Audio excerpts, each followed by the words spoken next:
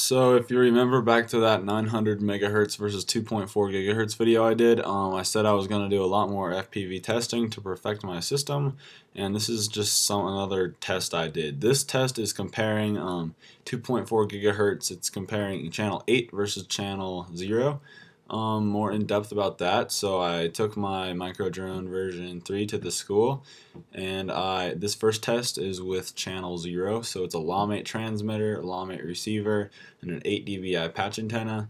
Um, once again on channel 0 and that channel is used by Wi-Fi and other things that run off 2.4 gigahertz like wireless phones or stuff like that. So anyways, um, as you can see here there are lines in the video or not lines, but it's just kind of like just interferency. Um, it, it's like that pretty much through the whole flight. The farther away I get, the worse that it gets. Um, also on this flight, I had my Dragon Link farther away from my video receiver, and that seems to help out a lot. So I had a really long extension cable. Um, so as you can see here, this does not work out very good. I'll play the end of this test clip.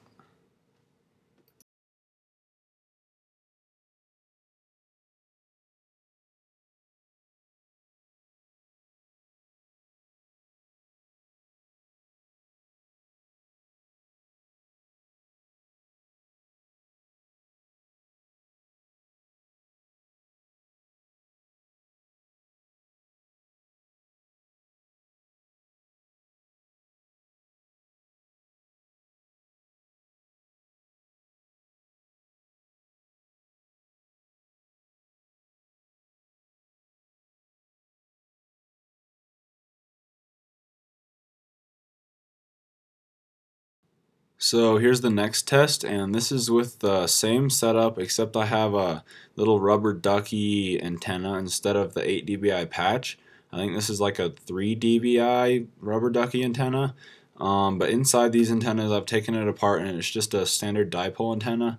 Um, so I was just kind of comparing these two antennas with this flight.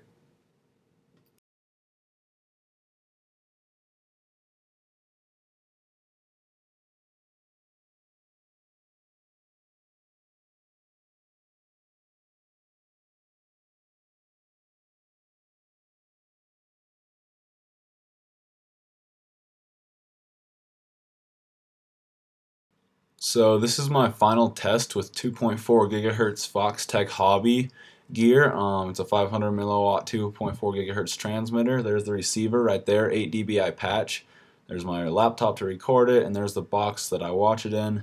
Um, this is on channel 8. That's the difference between this flight with the 8 dBi patch and the last flight with the 8 dBi patch that was on uh, channel 0 with the Lawmate transmitter. So this is the Foxtech Hobby um, transmitter and as you can see here it works pretty well.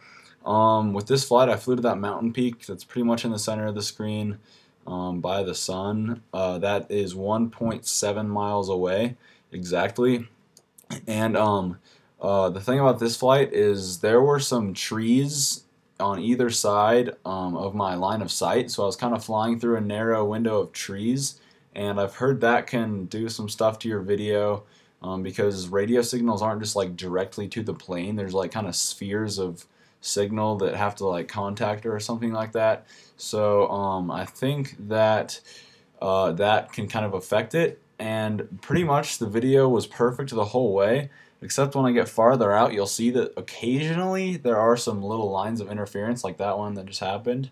Um, they're just like the lines that happen when I flew with Channel Zero with the Lawmate, but there's just they occur a lot less frequently. And yeah, so basically with this flight, I had to use the sun to navigate. Um, and another thing to note with the Dragon Link is I was using a little rubber ducky antenna, um, and I was still able to go 1.7 miles no problem. So Dragon Link is performing good. Right there, I did a little like turn test to test the polarity or the polarization um, of my antennas. I had to dive down because my camera wouldn't adjust to the darkness of the ground um, to see where I was going. So anyways, here's the rest of this flight.